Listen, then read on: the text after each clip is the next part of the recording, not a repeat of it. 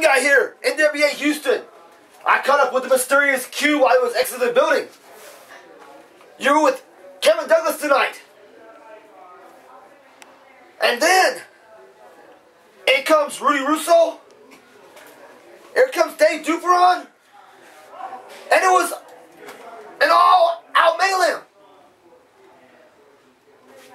This interview's going really, really well.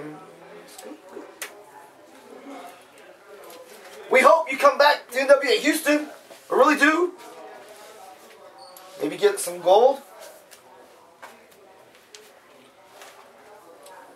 Maybe next month.